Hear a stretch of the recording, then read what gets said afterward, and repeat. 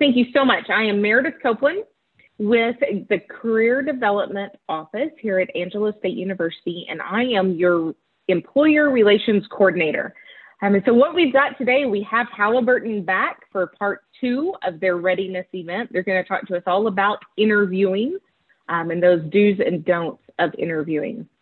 So as you guys are listening to it, I know Amanda will get started here shortly, but we love good interaction and conversation going in. And so make sure you're taking advantage of the chat box, take advantage of the Q&A and let us know any questions that you may have, and we will manage those as we can throughout the presentation.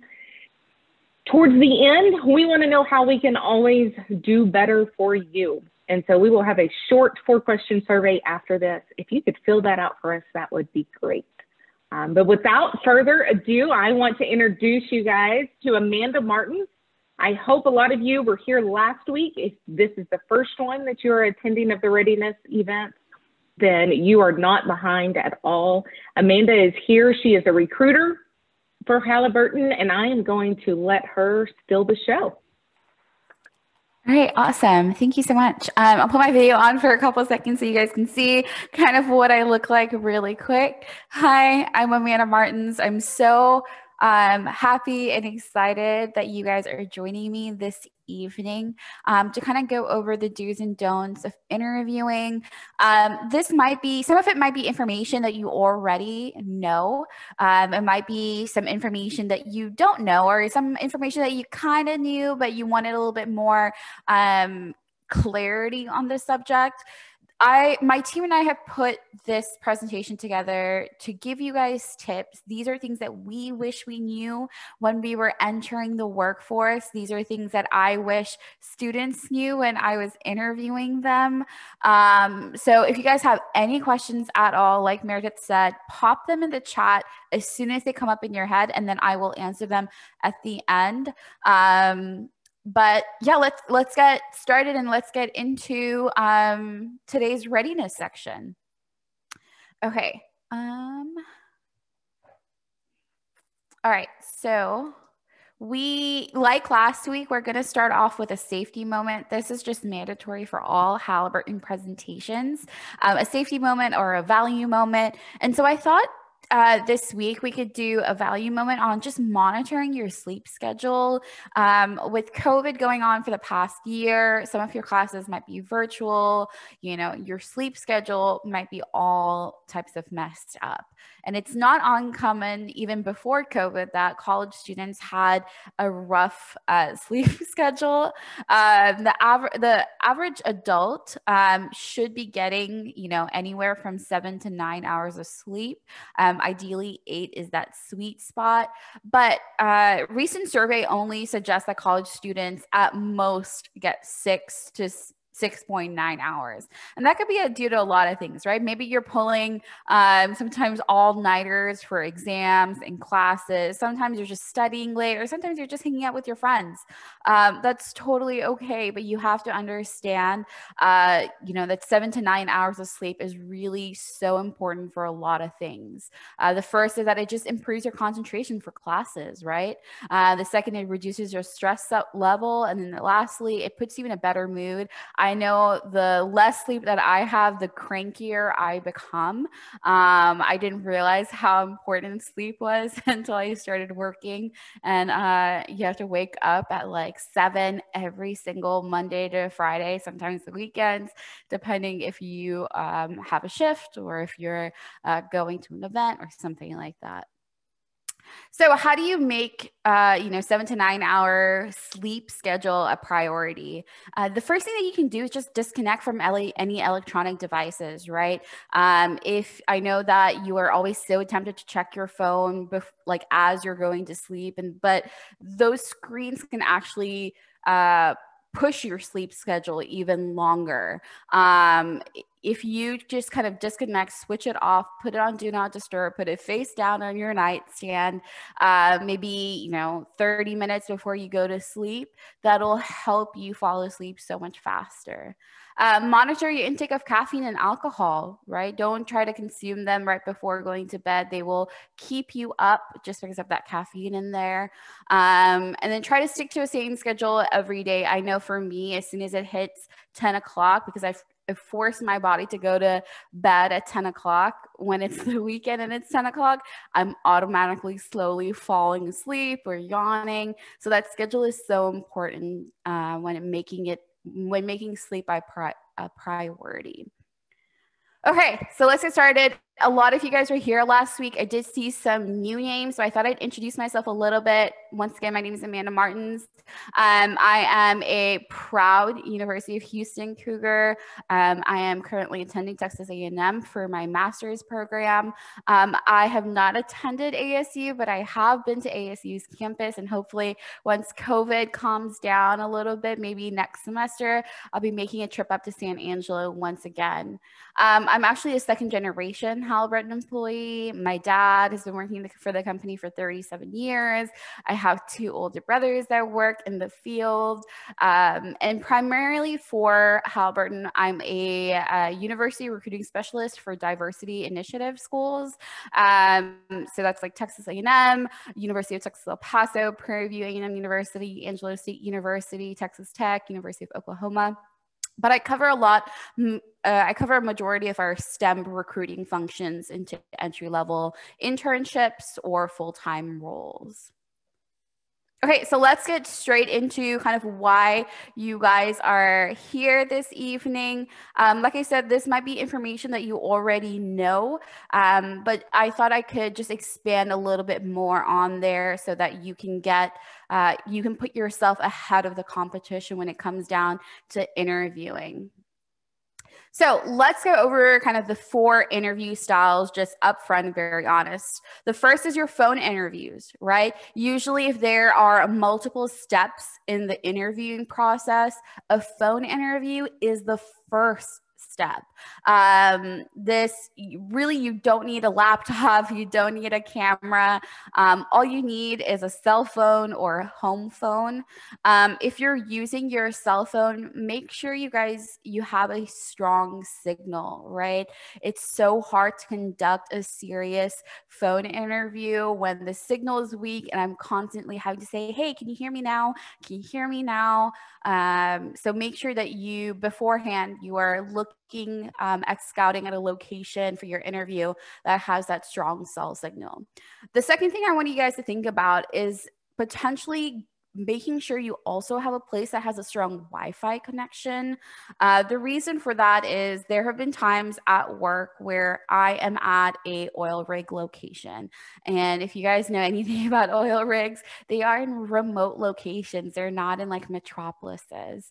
Um, and so the cell signal is really weak. And so there have been times I've emailed emailed candidates and said, Hey, instead of a phone interview, do you mind if I have like a FaceTime audio call with you instead? Right. Because that's making, uh, I, I'm going to have to rely on a Wi Fi for that. Or if you don't have, you know, an iPhone, I might say, Hey, instead of uh, FaceTime audio, can we do a Skype audio? Or can we do a Microsoft Teams audio? Or can we do a Zoom audio interview? Um, so make sure you have a strong Wi-Fi connection if those are um, other options that your recruiter or your interviewer is going to proceed with. So, how do you become successful in phone interviews? Uh, a couple things. First, make sure you, you guys are fully awake. Make sure you clear out your throat at least 15 minutes before for your interview. If your interview is scheduled for the morning, right? If your interview is at 9 a.m., uh, don't wake up at 8:55 for your interview. Um, make sure you wake up at like 8:45 at the very least. Um, get those frogs out of your throat because nothing is more um, awkward or um, embarrassing for the both of us when I have to say, hey, is this a good time to call? Because you seem like you're still kind of sleepy or taking a nap. Um, my best way to mitigate this is if you're a late an, a late sleeper is to just schedule try to schedule your interviews for later in the day rather than first thing in the morning. Uh, second thing, make ensure you're, that you're in a quiet space, right? If you have roommates or if you are staying at home, just let the people in your household know that you are, um, you know, you're interviewing for an internship or a full time position. This is a very important interview. If they don't mind just you know being a little bit quiet for 15 30 minutes at most phone interviews are not long you guys um, so you just need that that peace and quiet to really focus on this third make sure your phone is fully charged. Nothing interrupts the flow of an interview more than when the, the candidate is like hey amanda is it okay if i if we can stop for a couple minutes? I need to find my charger and plug it in. If we have scheduled this interview beforehand right if I'm not calling you out of the blue, you know when the interview is. So your phone should be fully charged in preparation for this interview or should be already plugged in to a um, electrical socket um, during your interview. Uh, lastly, listen and don't dominate the conversation. Um, in a phone interview, I mean, yes, you are being interviewed, but and you need to like brag about yourself. But the thing is, in phone interviews, candidates can't really see facial cues of their interviewers. So they don't know when to move on to the next question or to pause and let the recruiter write down some notes per question. So, my best advice on this is to keep your answers brief, but answer it to the best of your capabilities. And if your recruiter is going to ask you for more in depth answers, they'll ask you a follow up. Um, or they might say, Hey, can you expand a little bit more on this? Or can you go a little bit more in depth? Um, they'll initiate that conversation first, uh, first and foremost. If you dominate the conversation, you're taking up time in your interview um, where you're explaining details that don't really need to be explained. And you're taking up time so that the recruiter can ask you can't ask you the rest of the questions. So just be conscious of that. The second type of interviews are in person interviews. These are agreed upon uh, location, a face to face interview. Uh, not very common in 2020, 2021 because of COVID, but um, you know this is something that's going to start happening again in the next couple of semesters so you need to be aware of how to best handle these. Usually in-person interviews are you know at your at a career center on campus somewhere. Um, it could be at a corporate office right? You're being taken to the company to actually have that interview. But i also consider in-person interviews to be any face to face interaction. So if your recruiter or your interviewer says, hey, let's go grab coffee really quick, or hey, let's, why don't we have lunch and discuss this position a little bit more? Uh, when I joined Halliburton, my interview was not an actual interview per se. It was a face to face interaction at a meal.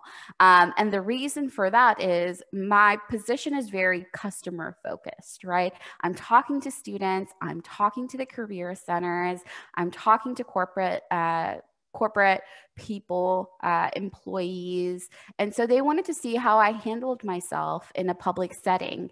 Um, so you're being interviewed for the moment you leave your car to the moment you enter your car again. They're judging how um, you talk to the waiter or the waitress or how you talk to the valet people um, every small thing that you think you're not being uh, interviewed for or judged for, you are. So you have to be careful in these in person interview settings. Don't think of it just as an on campus visit or a corporate interview, they're any face to face interaction. So, how do you become successful for in person interviews, right? So, um, getting there early and checking in at least 10 minutes before your interview. If you come late, right? If you are rushing, uh, that's not going to give you a best first impression. But if you come like an hour early, uh, uh, that's also it, it's not a bad thing it's just an awkward thing. The recruiter is going to feel rushed to try and get to you and try to keep you busy. Um, usually we found 10 to 15 minutes is that sweet spot for getting early settling in getting your nerves out of the way being comfortable in the interview space. Um, so yeah, just make sure you are early, but not too early. Uh, secondly, dress appropriately and make sure you look presentable. I'll I'll go over this in a couple more slides. Kind of what is um, what dress wear is appropriate and not, but I'll give you guys the best answer just very briefly. Your career center is going to be your best help on this uh, company to company. Uh, they'll give you the best, most recent advice, um, and they'll tell you if you look professional or not. Um, third, have several printed copies of your resume. Yes, they are interviewing you and they might they'll your interviewers will have copies of your resume, right? But it could happen that a manager who wasn't set to interview you because they were super packed with meetings all day actually has 10 to 15 minutes that they can pop in really quick and just talk to you in, on an informal level.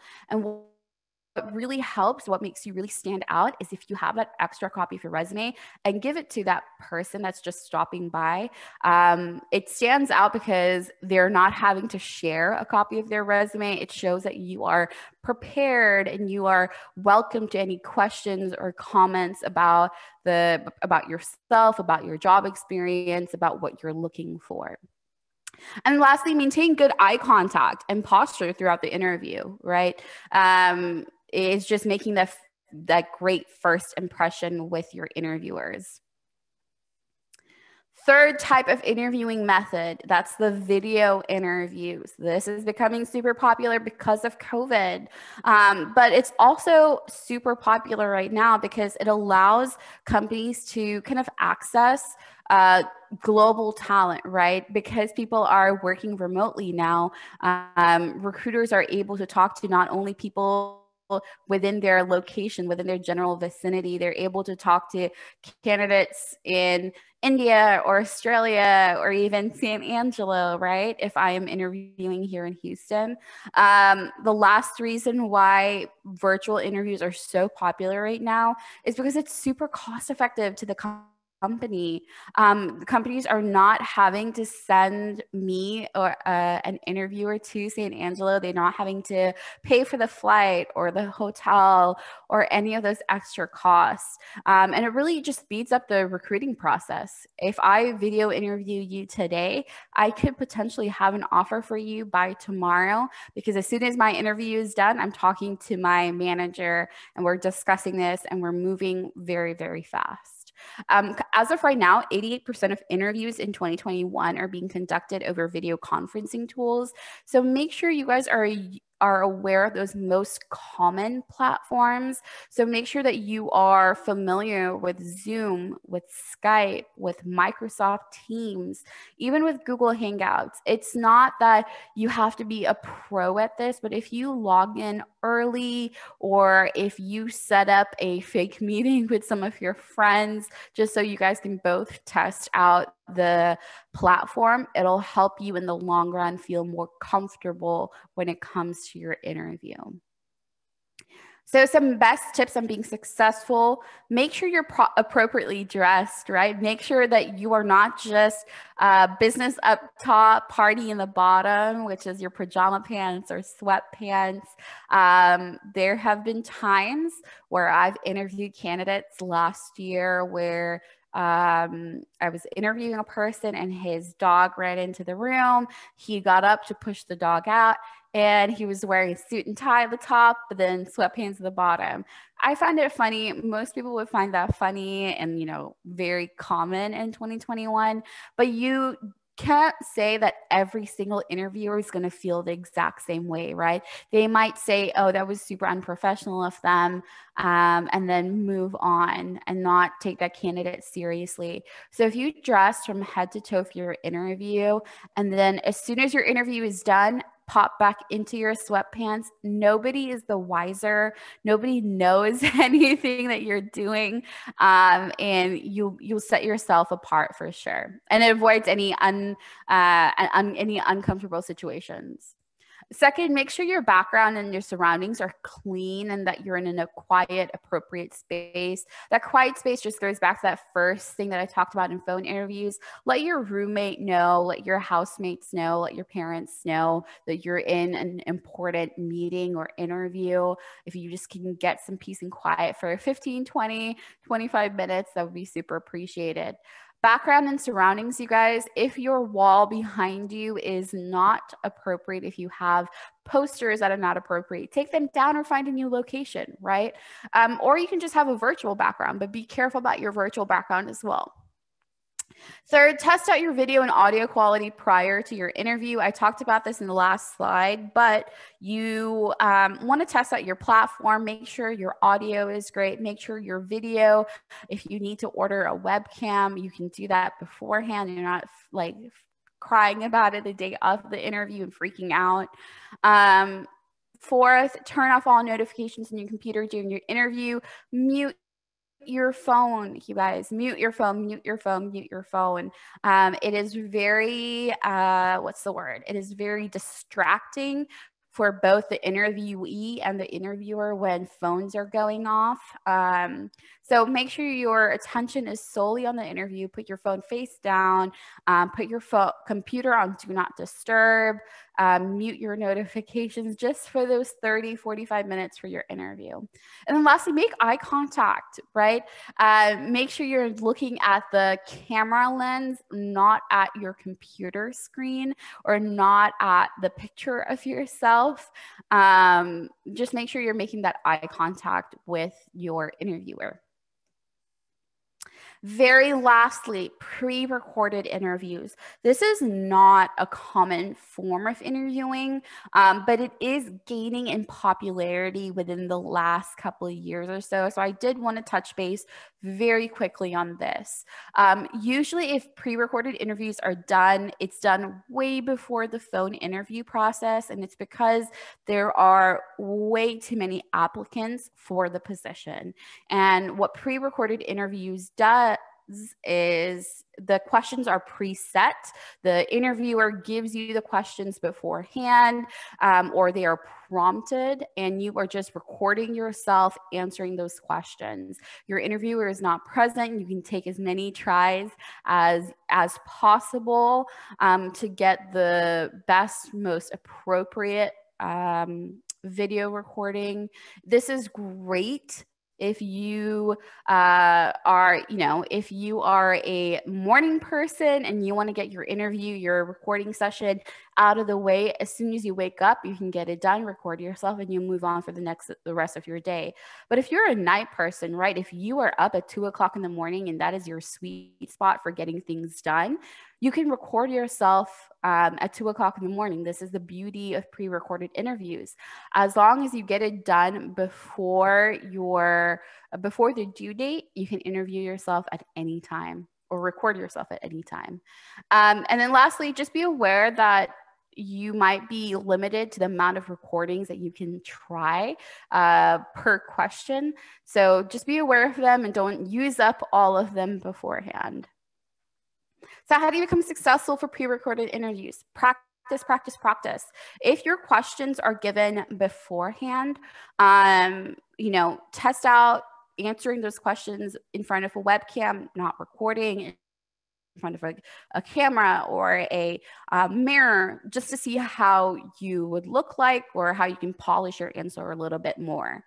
Utilize your career center. You guys, your career center is going to have the best source of information on how to um, how to achieve and how to be successful in your pre-recorded interviews. Your career center might actually have a room that you can um, maybe book out for pre-recorded interviews. Each career center is a little different, um, but check in with them and see what tips that they can provide you. Uh, third, don't be a robot. You know, when you are when you if you were given the questions beforehand you might be super tempted to you know write out a script um, and then you're reading the script in your recording session but that doesn't really give me your personality a bit does it? So my best advice on this is instead of writing a script write bullet points for your answer and then ad lib uh, the kind of the um, in between responses to make it a little bit more flowy, to make that conversation seem like a conversation, not a script. And lastly, don't rush it. Uh, don't rush through reading your answer. Don't rush through answering the question in the first place. If you rush through it, the recruiter is not going to play that that answer back, that video back, because they have a lot going on. They have a lot of other candidates to candidates to talk to. So just slow down, answer to the best of your ability, um, and show your personality through in these pre recorded interview sessions. All right, so being successful in virtual interviews, just in general, uh, I talked about making sure that your surroundings and background are clean. If you don't have a clean or you know um, appropriate background, that's fine. You can use a virtual background. So what is professional what is not professional? A background which is fun that you can have with your friends is is like a tiger king right? Or something silly like your favorite cartoon show is not professional. Just go with those already preset backgrounds um, on any platform that you use. Zoom has them microsoft teams have them google hangouts have those already preset virtual backgrounds. Those are perfectly fine um, avoid certain patterns and colors when considering what to wear during video calls. So patterns like houndstooth, pinstripes, and fine checks, they don't come across well over camera. They actually hurt the recipient's eyes. So just be aware of that um, and be careful about what you're wearing. Some generalized tips for interviewing be confident. You guys got an interview for a reason. We want to interview you for a reason. We picked you out of the hundreds of other applicants. So be confident in the reason why you're interviewing with us. Research the company and position why for what you're applying for. Nothing grinds my gears more than when we set up an interview, you know, a week beforehand with a candidate and I get to the question of, well, tell us um, what do you know about Halliburton? And they have a blank look on their face. It takes no more than 15 minutes to research a company really, really quickly. Um, so make sure you do your research. It'll set you for a positive interview, a positive experience with the company. Uh, make sure your resume is updated right? Don't make sure that it, you're not giving outdated information or information that is incorrect. If your gpa has changed if you've added a job in there if you've made dean's list make sure that everything that you're speaking about is on your resume. Show creativity in your answers right? Um, make sure your answers are you're pulling from different resources and different ideas. Don't just pull from the same experience from the same job from the same role, diversify your answer. Talk about your student org, talk about your first job, second job, third job, talk about your academic career, pull from experiences like that. Have good and thoughtful questions prepared for your interviewer. This is so important. I think it makes candidates stand out when they have good um, questions for interviewers. I will, I have a list of um, questions that I think stand out for me towards the end of the presentation. So stay tuned for that. And then lastly, set up your voicemail. Um, if you, I don't know your school schedule, right? I don't know if you have class. I don't know if you're taking in the middle of a midterm. I don't know if you're studying in the library and you can't take a call. I don't know your schedule. But if you set up your voicemail, I call you, you forward me to a voicemail, I can tell you exactly what you need to hear, why I'm calling, my number, so on and so forth. If you don't set up your voicemail, I can't get in contact with you. I'm struggling to set up an interview with you. I am probably moving on to the next candidate in my list of names. Um, so set up your voicemail is so important. Just some additional information. These are the two types of interview methods, behavioral and technical. It is super important to know which one your interview is going to be. This is something that you can ask your interviewer beforehand. Just send them a quick email and say, hey, just want to double check is my interview going to be more of a behavioral interview or a technical interview? So you can better prepare, right? So if you have a behavioral interview, these are going to be more situational scenarios. So these questions are going to start with tell me about a time. Have you ever? What would you do if? They're looking for um, responses using the STAR method. So that's situation, task, action, and result. If you hit all four um, words for STAR, I promise you, you're going to answer that question beautifully. The recruiter is not going to ask you any follow ups, it's going to show a thoughtful, well thought out response. Um, usually these situational behavioral questions are common throughout companies, right? It's the exact same question that's asked in every single company. Um, you know, tell me about a time you've worked on a team. Tell me about a time you've dealt with a difficult customer. Tell me about a time um, you've had to deal with a different difficult coworker or manager. These are universal questions. So uh, my best advice on the behavioral part is if you go on Google, type in common behavioral questions, and you can kind of put together a script almost of what your answers would be based on each question. Um, and you can better prepare yourself for your interview using that STAR method. The second half, that's the technical questions, right? Technical interviews. These are skill based, you guys. Uh, recruiters are more focused on what your thought process was, how you went about answering those questions. And then finally, there's one right answer. So, did you get that answer um, or did you not get that answer? And if you didn't get that answer, that's okay. But what was your thought process behind it? For the, for the technical questions, you guys, my best advice is to talk it out. Um, thought, talk about your thought process. Uh, make it verbal because if you, you know, verbal verbally say your thought process you can kind of look at the interviewer and see if you're on the right track or not um, they might even say they might give you cues they might wince they might say are you sure you want to go down that path in specific. Um, one other thing is they there might not even though there is one right final answer if you verbalize your thought process um, if you ask for help um, the recruiter is going to be your interviewer is actually going to uh, appreciate that even more than you getting the right answer because it shows that you're asking for help. It shows that you're willing to learn. It shows that you rely on your team or whatever tools are available for you. Um, so make sure that you are um, setting yourself up for success for these technical interviews. So what to wear? I talked about what uh, what to that certain patterns don't come across well, right? Like houndstooth, pinstripes, and fine checks. But there are things that are universally acceptable and it definitely depends on industry right if you are interviewing for halliburton we're a little bit more of a formal company a corporate company so suits and ties are okay. Um, slacks is mandatory, or skirts or professional dresses are mandatory. Um, but you can probably get away with no tie, but a button down long sleeve shirt. Um, that's okay too. Um, but if you are potentially working for a startup tech company, right?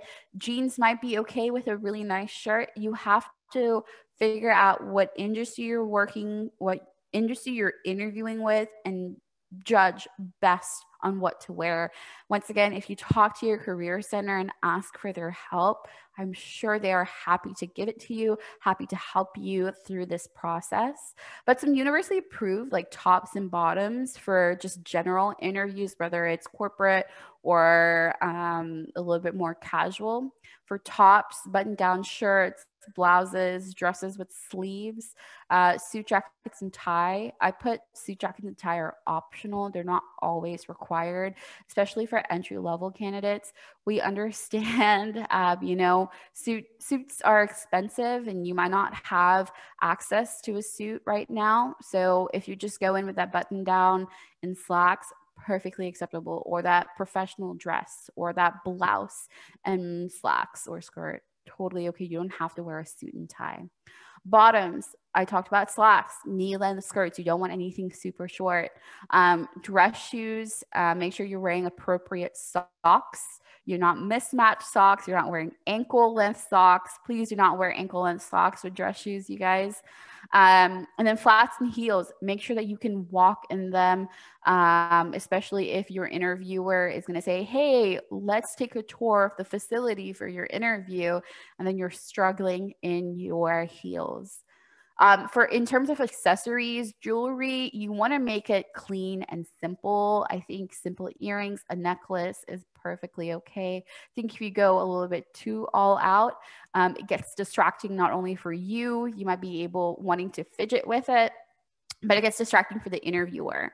Um, makeup, clean and simple works best. Tattoos and piercings.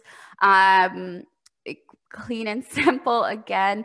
A lot of people have tattoos. Tattoos are becoming universally more approved and common in the workforce.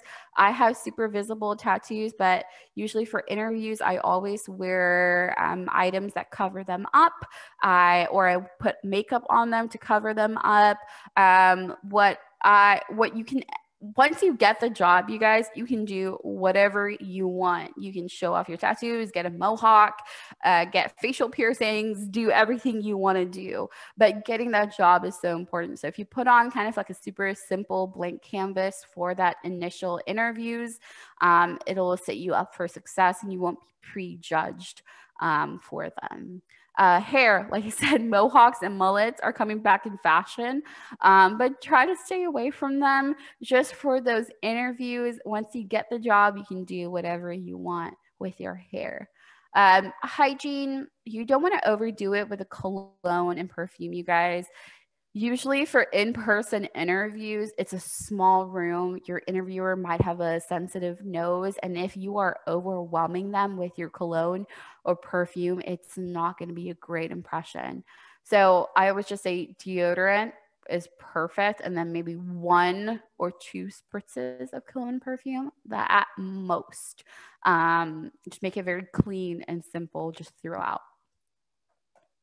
So when you're ending strong, um, your interviewer is going to allocate time at the end for questions, right? Usually they'll give you about 10 to 15 minutes for questions.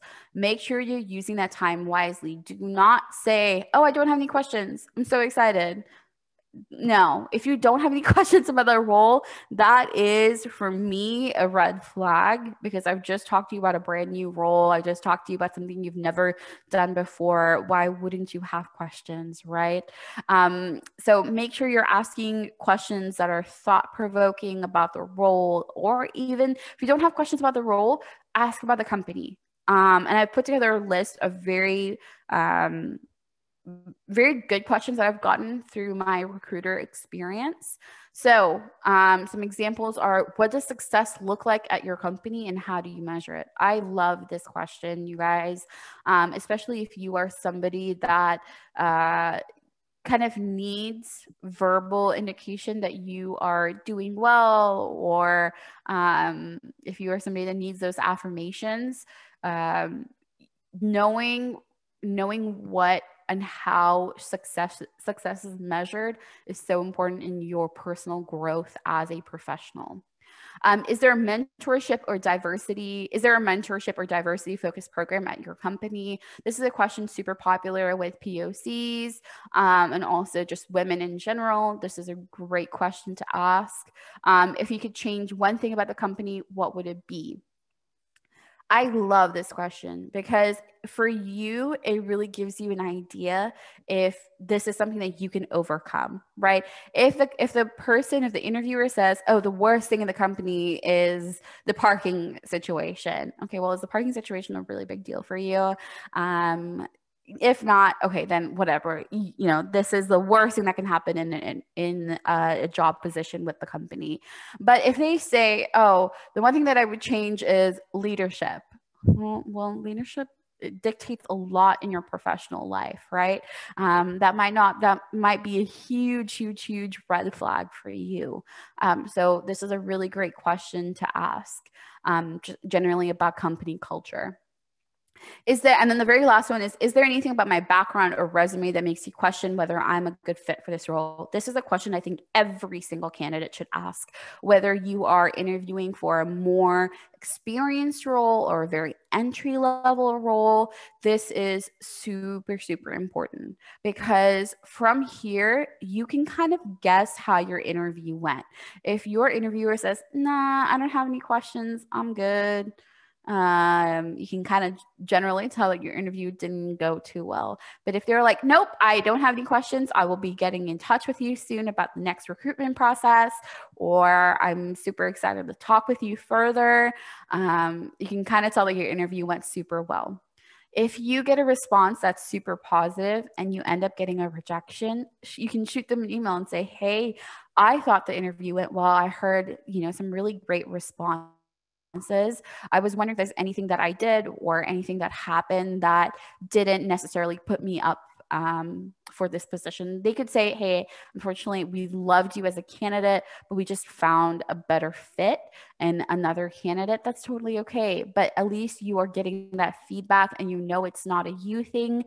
It is a, um, a company decision, and they might be willing to put you in another position if you keep that form of communication going with the recruiter. So, what to avoid for interviews, right? Uh, avoid talking about salary expectations at the very, very first interview. Usually, this is discussed in that second or third stage. This is something that um, they know going in, they're not going to interview you um, if you are way outside their salary expectations or what you're looking for. Don't chew gum throw it out, please. Um, you do not want to be smacking your way through a conversation. Avoid any talks about politics or religious beliefs. It is politics is just a no go in 2021. Um, this is something that also should not be asked by the interviewer in any case. If your interviewer brings it up, politely tell them, hey, I don't feel comfortable talking about this subject. Can we move on to the next question? And if they keep bringing it up, this is a huge indicator for you that this is a company that doesn't respect your wishes or your um, your opinion. So it's super huge red flag again. Um, so just avoid talking about politics or religious beliefs in general. Um, avoid talking negatively about past employers.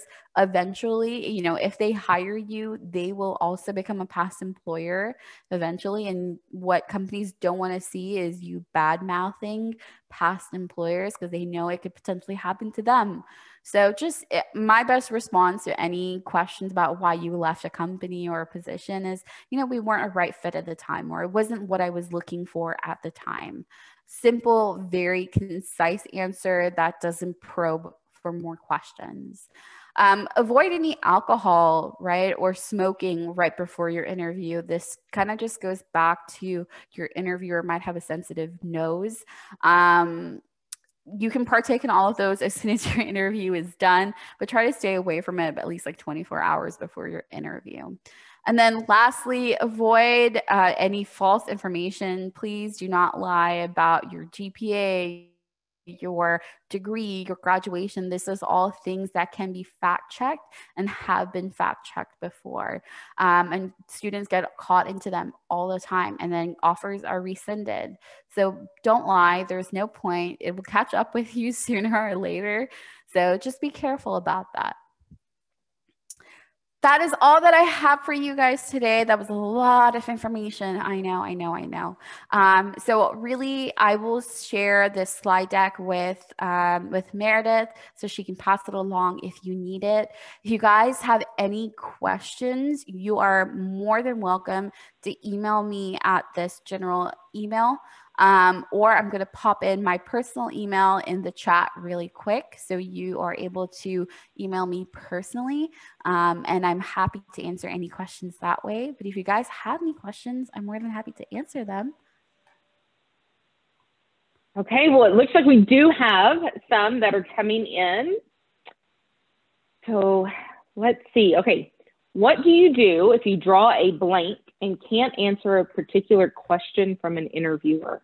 Is it to better to say you don't know or to develop some kind of answer?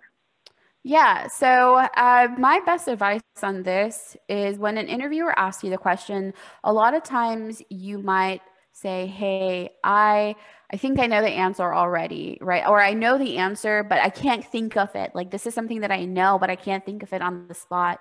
Tell your recruiter, hey, can I can I think about my answer before actually answering it have that pause have take that time to kind of think about it um, and if you still and you can answer that question that way. But if you still are drawing the blank, um, just say, you know, I'm not sure, but if I was put in that situation, this is what I would do. Give a hypothetical of what you would actually do. Um, I think that's the best um, way to answer that type of question. I would not say you don't know the answer um, because it kind of proves that you can't think on your feet. It proves that you or you didn't have that experience and you can't talk about it some answer is better than no answer. Hypothetical or that you just need um, some time to think about the question before answering it succinctly. Okay. Any other questions that we have come in? That was a really good one. I mean she gave you a whole slide of questions that we could ask her, really. um, Amanda, we certainly appreciate you coming back uh, and giving us part two about interviewing with the do's and don'ts and all your tips that you've given. You've offered a whole lot of information, and I know that we talked a little bit about dress in interviewing, and so I want to take this time just to let you guys know that this weekend is the suit up event that we have at ASU. And so we do have some discounted codes for you to buy a suit through JCPenney and their suit up event. If that is something you're interested in, we can share that out. Um, or I am also going to share my email and we can put that in there and we'll make sure to get that to you.